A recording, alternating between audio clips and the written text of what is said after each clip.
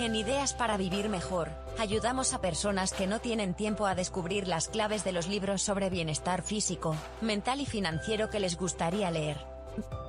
Resúmenes prácticos, concisos y amenos, que puedes escuchar en cualquier lugar.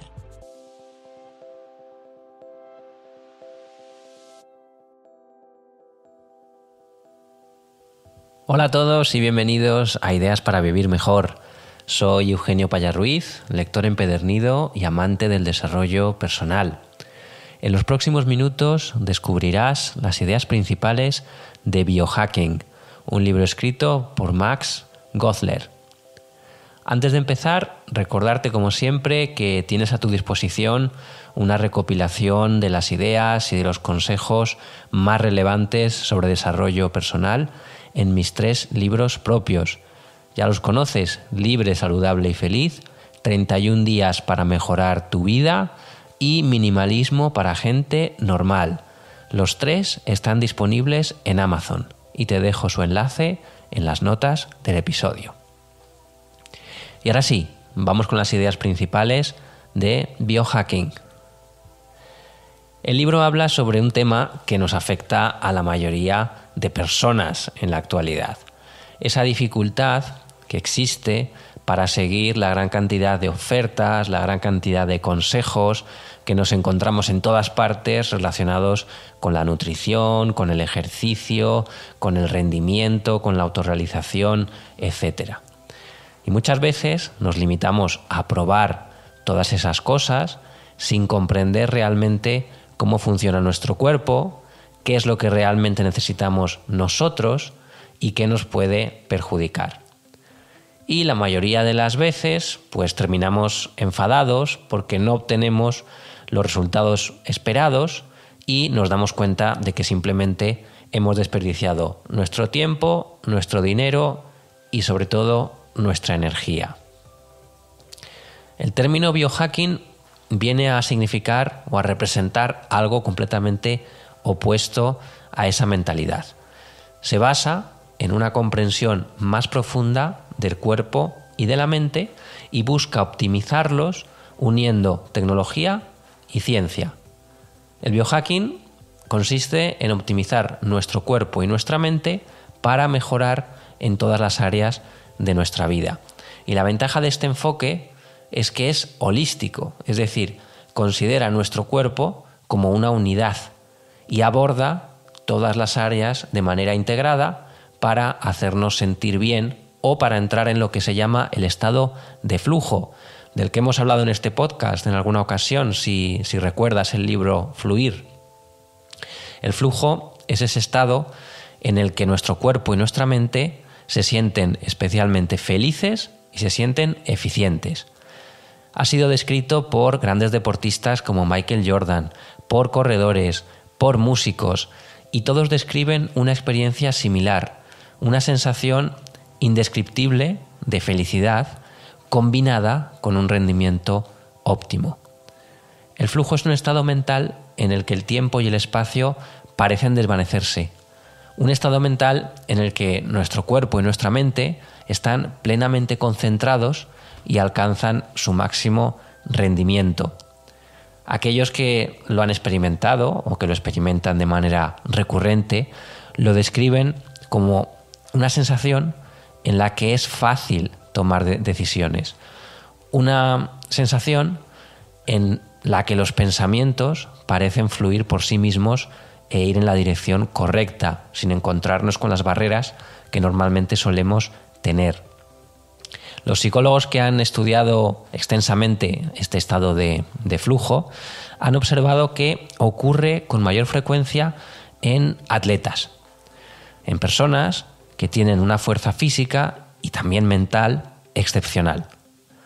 Quizás porque los deportes extremos les permiten dejarse llevar por el instinto de supervivencia, que ya sabes que es una de las fuerzas más poderosas en los seres humanos.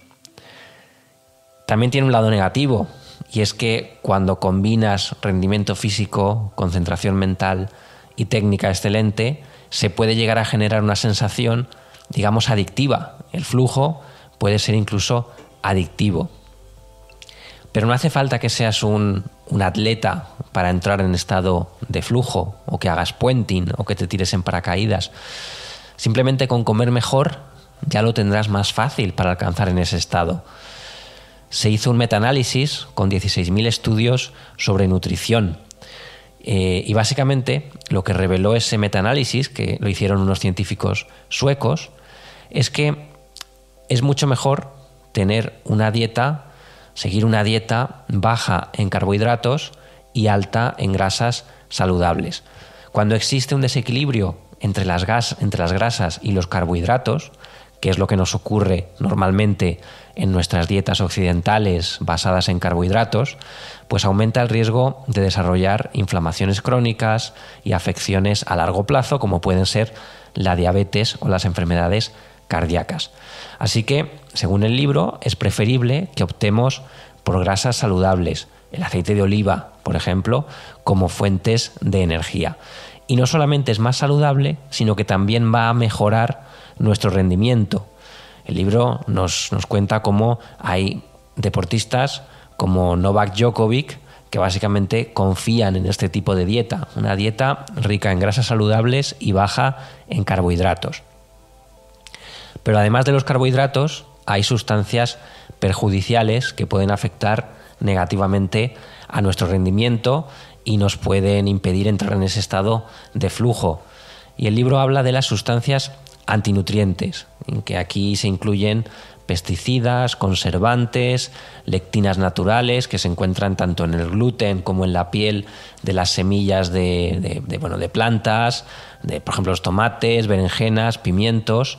Estos antinutrientes lo que hacen es dificultar la absorción óptima de los nutrientes y por tanto pueden causarnos inflamación en nuestro cuerpo. Para evitarlos, pues podemos hacer varias cosas. Podemos evitar alimentos que contengan lectinas, como los cereales, o podemos simplemente pelar y deshacernos de las semillas, tanto de las frutas como de las verduras, antes de consumirlas. Otro punto importante, ajustar nuestra compra a productos de temporada, productos regionales y dar preferencia a productos orgánicos no procesados. Son un poco más caros, sí, pero seguramente lo vas a agradecer en el largo plazo. Y no solamente los ingredientes de los alimentos son determinantes para nuestra salud, sino también sus envases. Debemos de asegurar que nuestros alimentos y sus envases no contienen ingredientes sintéticos dañinos, ya que estos pueden desencadenar desequilibrios hormonales. Hemos hablado de este tema también en este, en este podcast. Por tanto, es recomendable que evites el plástico en la medida de lo posible.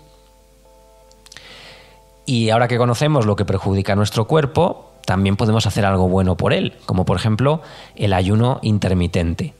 Cuando interrumpimos la ingesta de alimentos dos veces o tres por semana durante unas 16 horas, le estamos brindando a nuestras células la posibilidad de renovarse de manera completa. Y esto es bueno. El ayuno intermitente promueve la eliminación de células defectuosas, la renovación celular, mejora la eficiencia de nuestras mitocondrias y retrasa el envejecimiento. Y el deporte, aunque pueda ser una faena para algunos, el deporte es algo que no podemos evitar si queremos ser biohackers o gente que sigue el biohacking. Sin embargo, ten en cuenta que no hay necesidad de que te conviertas en un fanático del gimnasio o de que te tortures durante horas corriendo para mantener nuestro cuerpo en forma, para mantenernos libres de dolores, pues no hace falta esto. Es mucho más fácil de lo que creemos. Ten en cuenta que hacer ejercicio en exceso o hacer ejercicio de manera incorrecta puede ser incluso perjudicial, porque estás sometiendo a tu cuerpo a un estrés excesivo. Un entrenamiento eficiente debe tener dos características. Primera, ser breve, y por breve hablamos de menos de 45 minutos. Y segunda característica debe ser efectivo. Debes de trabajar las zonas del cuerpo de manera efectiva. Alguien que está dos horas en la misma, no sé, bicicleta estática o en la máquina, en una máquina determinada en el gimnasio, no está haciendo un entrenamiento efectivo. Está, está quemando calorías, pues sí. Está haciendo ejercicio, sí pero lo más probable es que no esté siendo efectivo y llegue un momento en el que termine incluso lesionándose. Y el libro también nos habla sobre la importancia de la regeneración, tanto para el cuerpo como para la mente. Y nos dice que es un aspecto que a menudo descuidamos y es algo crucial para mantenernos en forma y para mantenernos saludables. Si queremos vivir bien, tendremos que dormir bien, porque es durante el sueño cuando nuestro cuerpo tiene tiempo para renovarse.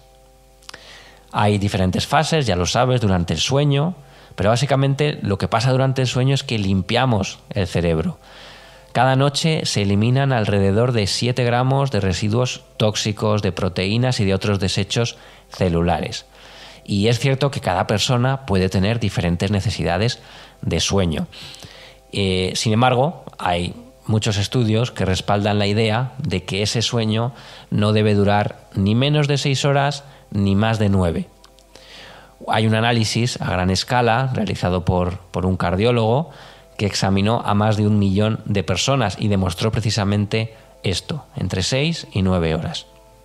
Y suponiendo que un ciclo de sueño dura en torno a los 90 minutos, piensa que vas a necesitar 5 ciclos para que el cuerpo y la mente se regeneren de manera óptima. Y esto suma un total de 7 horas y media de sueño.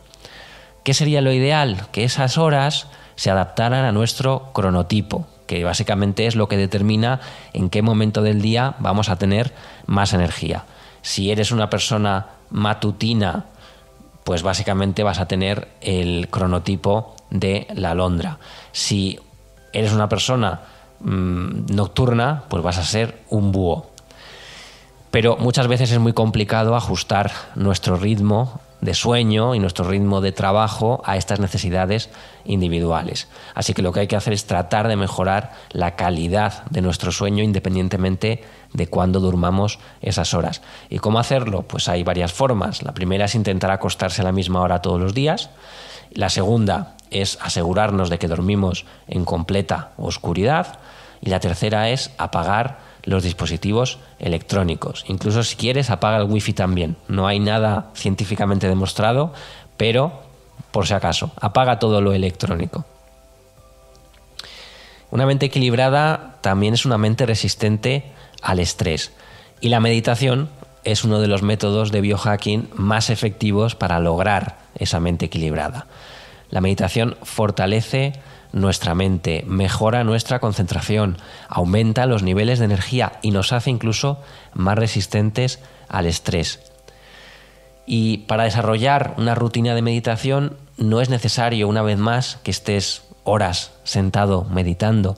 Es más importante la regularidad que la cantidad.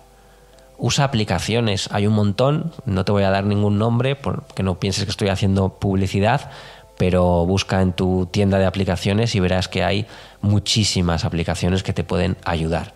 Y es mejor dedicar 5 minutos todos los días que 20 minutos de vez en cuando o una hora al mes.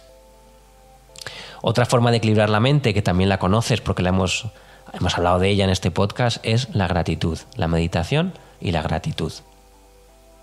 Y luego es importante para el biohacking no solamente lo que hacemos nosotros, sino también nuestro entorno. Por el entorno me refiero al lugar donde vivimos o donde pasamos mucho tiempo. No nos damos cuenta, pero estamos en un entorno completamente antinatural. Está la luz eléctrica, está la temperatura, están los campos electromagnéticos. Todo eso es algo generado artificialmente, que no existe en el entorno natural en el que hemos pasado miles de años. Una temperatura constante de 25 grados en una, en una casa o en una habitación, o estar constantemente expuestos a la luz azul de los dispositivos, todo eso va a desincronizar nuestro ritmo biológico. Nuestras células están adaptadas al cambio del día y de la noche, al cambio de estación, etcétera. Entonces, ¿qué podemos hacer para salir un poco de ese entorno? Porque hoy en día obviamente no te vas a ir a vivir al monte. Pues puede ser tan sencillo como darle a nuestro cuerpo luz solar. ¿Por qué? Porque la luz solar va a actuar como un reloj natural para nuestro cuerpo. Hoy en día muy pocas personas, o hay muchas personas que no tienen ningún contacto apenas con la luz natural del día. Pasan la mayor parte del tiempo dentro de casa o dentro de la oficina o en el coche. Así que no es extraño que esa gente pues sufra trastornos de sueño, inflamación crónica, etc. Si no hay luz natural, nuestras células pierden completamente la referencia sobre en qué momento se encuentran, qué es lo que deben hacer, cuándo deben regenerarse, cuándo deben desincronizarse. Así que para evitarlo es importante pasar tiempo al aire libre y recibir la luz del día, especialmente crítico esto en invierno. Que vives en, en Laponia, por ejemplo, no tienes luz natural, pues puedes utilizar incluso lámparas LED de luz roja, un rango de 600-900 nanómetros. Puedes buscarlas por internet si quieres. Estas lámparas se supone que reparan los daños celulares causados por la exposición a la luz azul. Y otro punto del libro, otra manera de hacer biohacking, es la termogénesis, los choques de frío. Una ducha fría de unos 3 minutos aumenta la actividad metabólica y favorece la generación de calor en nuestro cuerpo. Ese proceso es el que se llama termogénesis. Y además esa ducha fría tiene la ventaja también adicional de que va a aumentar nuestra respiración y va a proporcionar más oxígeno a nuestras células, lo cual va a ayudar a su regeneración. Así que ya lo sabes, biohacking significa comprender al propio cuerpo y a la propia mente y utilizar esa comprensión en nuestro beneficio. En este ajetreado mundo tecnológico en el que vivimos, pues es importante o sigue siendo importante crear un entorno natural, garantizar una dieta equilibrada, hacer suficiente ejercicio, dejar tiempo para la, para la regeneración de nuestras células y de nuestra mente. Y de este modo te mantienes sano, te proteges del estrés y entras más a menudo en ese estado ideal, en ese estado de flujo. Eso sí, tómatelo con calma y experimenta con los trucos que sean más adecuados para ti, porque esto, ya lo sabes, no es café para todos. Y hasta aquí las ideas principales que he encontrado en Biohacking, un libro escrito por Max Gottler. Espero que te haya gustado. Si es así, por favor, echa un vistazo a mis libros, suscríbete al podcast, dale a me gusta y comparte en redes sociales o por WhatsApp con esa persona que quieras que mejore su vida. Y sin más me despido. Muchas gracias como siempre y hasta la próxima.